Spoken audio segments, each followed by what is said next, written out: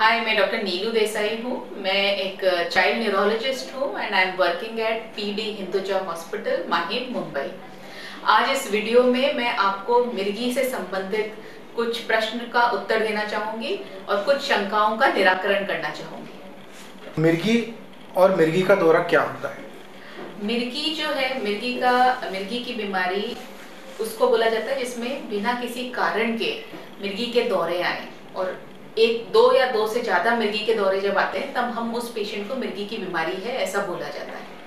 मिर्गी के दौरे के दौरान ब्रेन में कुछ ऐसे आप समझ सकते हैं कॉमन भाषा में करंट पास होता है या जैसे कि शॉर्ट सर्किट होता है जिसके कारण जो है कुछ सिम्टम्स प्रोड्यूस होते हैं जो कि बहुत प्रकार के हो सकते हैं पर वो क्योंकि वो करंट पास होता है इसके लिए उसमें वैसे कुछ सिम्टम्स आते हैं जिसको हम देखते हैं मिर्गी के दौरे की तरह। मिर्गी के प्रकार कौन कौन से हैं? मिर्गी के बहुत प्रकार होते हैं, जो कॉमनली लोगों को जिसके बारे में जानकारी रहती है, वो ऐसा प्रकार रहता है जिसमें जिसको हम जनरलाइज टोनिक क्लोनिक कन्वर्जन बोलते हैं। इसमें जो पेशेंट है, उसके हाथ पैर सब टाइट हो जाते हैं, फिर वो झटका लेता है, आँखें ऊपर चढ़ जाती हैं, मुँह से फेस निकलता है, और मतलब झटके पूरी बदन झटके लेता है। ये जो है, एक प्रकार है, उसके सिवाय बहुत और प्रकार हैं।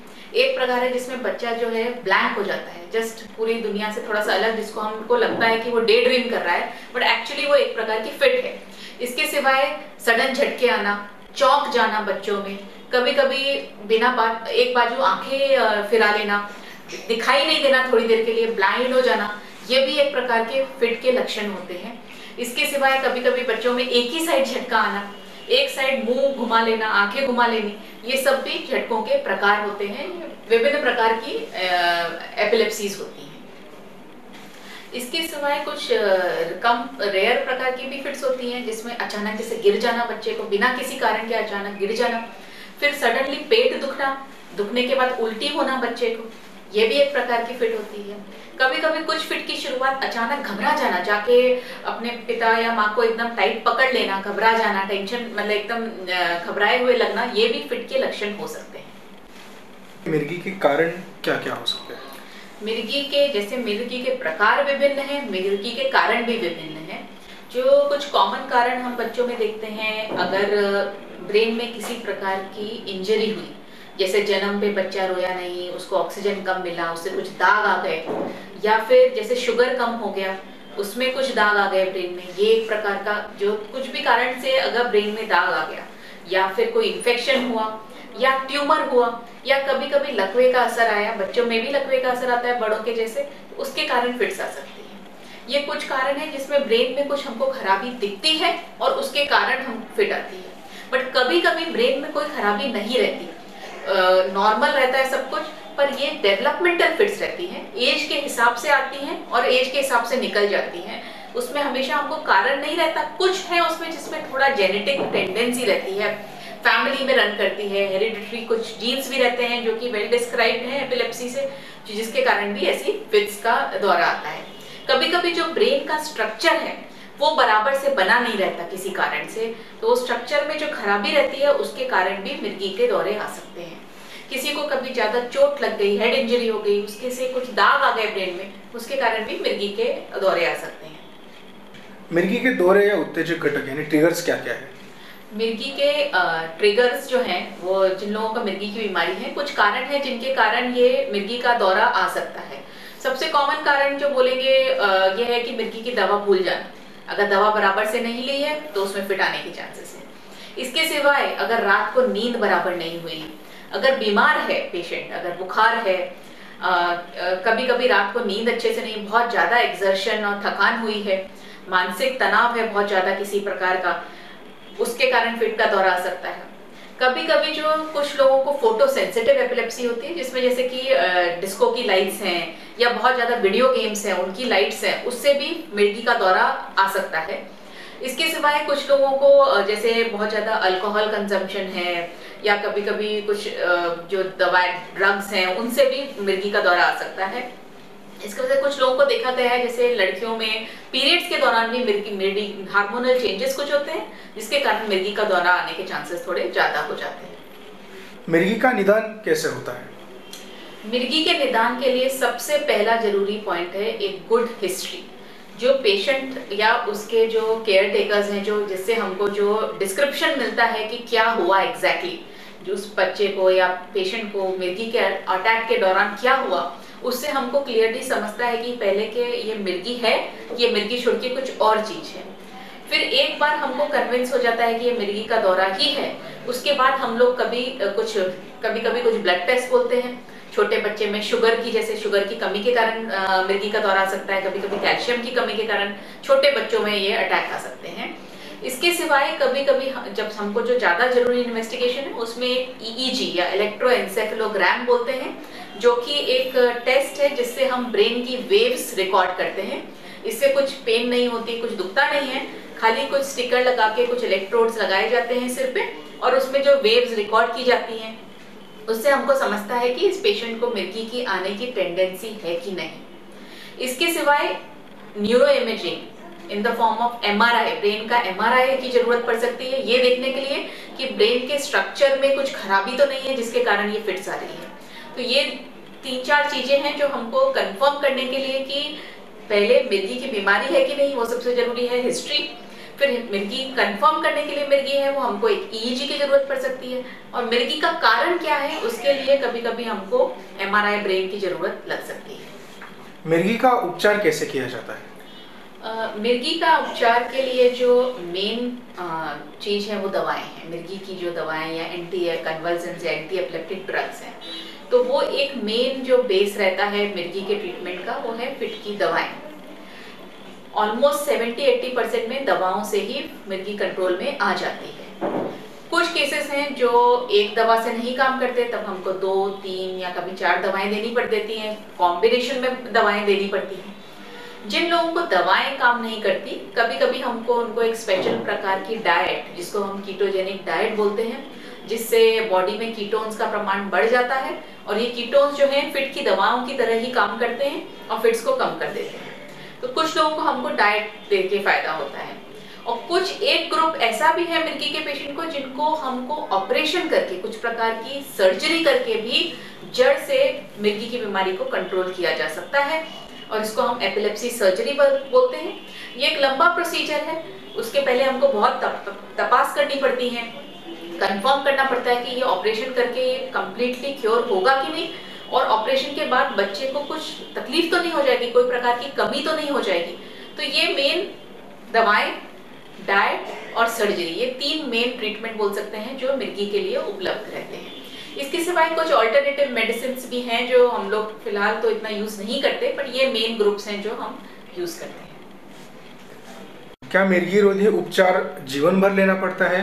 और मिर्गी की बीमारी ठीक हो सकती है? आ, ऐसा बिल्कुल नहीं है कि मिर्गी का इलाज पूरा ज़िंदगी भर लेना पड़ता है।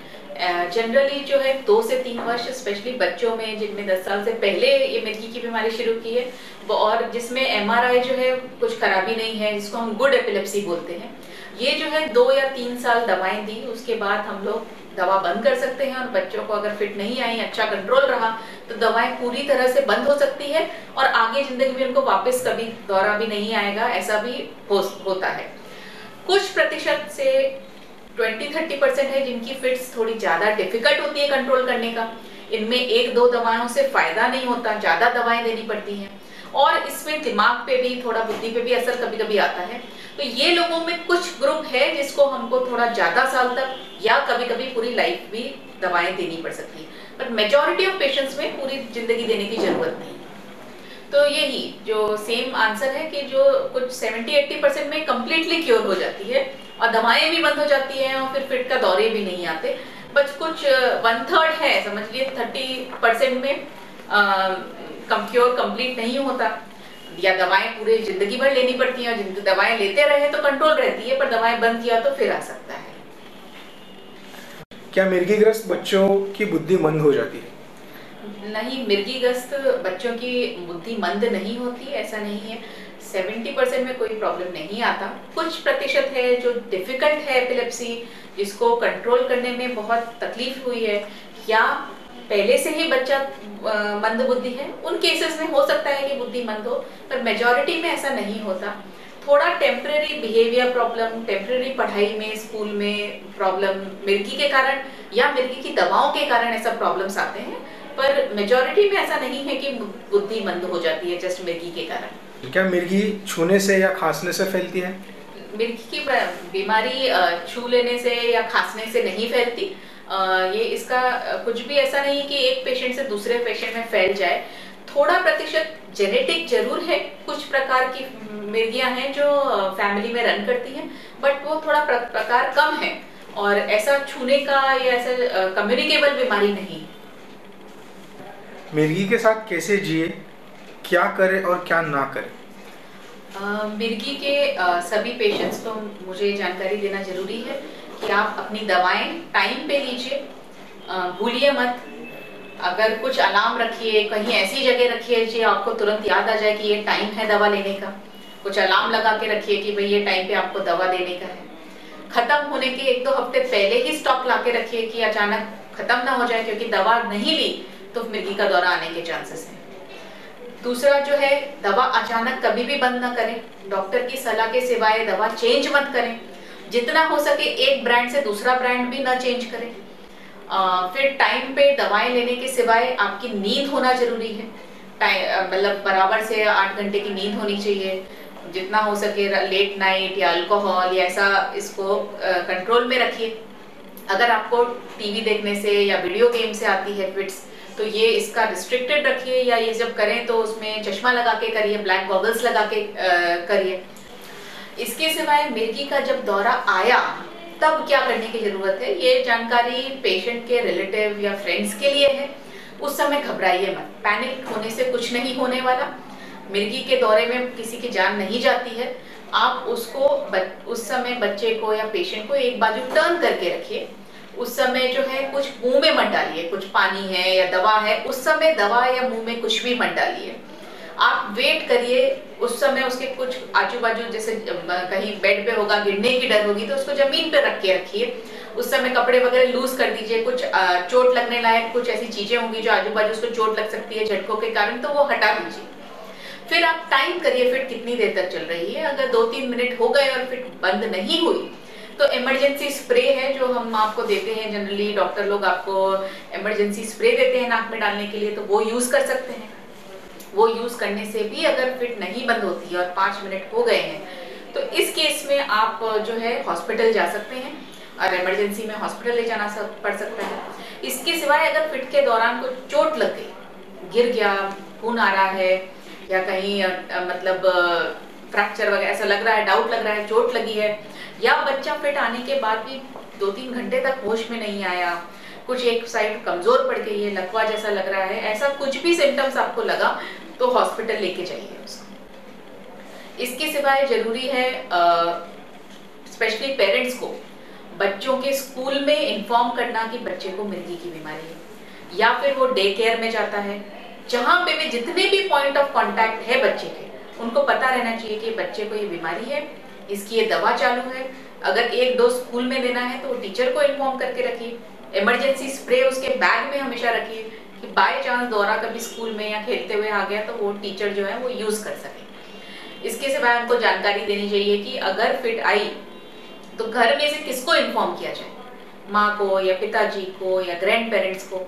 कि वो आके या उनके डॉक्टर का नंबर जो डॉक्टर से कांटेक्ट कर सके, उस दौरान कौन से हॉस्पिटल में क्या, ये सब जानकारी जो है आपके जो केयर टेकर्स हैं बच्चे के, उनको रहनी चाहिए। फिट के पेशेंट्स को हम एडवाइस ये भी करते हैं कि एक आपका फिट का कैलेंडर एक रिकॉर्ड रखिए कि फिट कब आई। उस समय कुछ ऐसा सिचुएशन था जिसमें ये ट्रिगर हुई। तो उससे आपको जानकारी मिलेगी और आपके डॉक्टर को भी समझने को ज़रूरी पड़ेगा कि क्या आ, किस कारण से ये फिट आई है। इतना याद रखिए कि फिट के पेशेंट्स नॉर्मल हैं ये एक नॉर्मल ज़िंदगी जी सकते हैं। नॉर्मल लोगों जैसे शादी हो सकती है बच्चे हो सकते हैं इनको और कोई घबराने की बात नहीं है। ये मेजोरिटी केसेस में टोटली ट्रीटेबल है। At the same time over protect मत करिए बच्चे को। वो नॉर्मल खेल सकता है नॉर्मल स्कूल जा सकता है। कुछ लोग घबरा के स्कूल भेजना बंद कर देते हैं। कुछ लोग खेलना बंद कर देते हैं। खाने पीने में बहुत रिस्ट्रिक्शन कर देते हैं। ऐसे कोई रिस्ट्रिक्शंस की ज़रूरत नहीं है। नॉर्मल ज़िंदगी रखिए जितना बच्चे को आत्मनिर्भर रिस्पॉन्सिबल रखेंगे, उसको इन्वॉल्व रखेंगे, उतना उसको नहीं लगेगा कि ये कुछ बीमारी है उसको। जितना हो सके नॉर्मल लाइफ रखिए बच्चे के लिए। मिर्गी के सब मरीजों को मैं ये संदेश देना चाहूँगी कि आप घबराइए मत। मिर्गी एक कॉमन बीमारी है, बहुत महापुरुषों को भी इसका असर हुआ है। Jonty Rhodes, Alexander the Great, Julius Caesar, ये सब मिर्गी के मरीज़ थे। और इससे इनकी महत, इनका जो महानता में कुछ कमी नहीं आई। और ये ट्रीटेबल है मेजॉरिटी केसेस में जड़ से निकल जाती है। मिर्गी के पेशेंट्स एक नॉर्मल ज़िंदगी जी सकते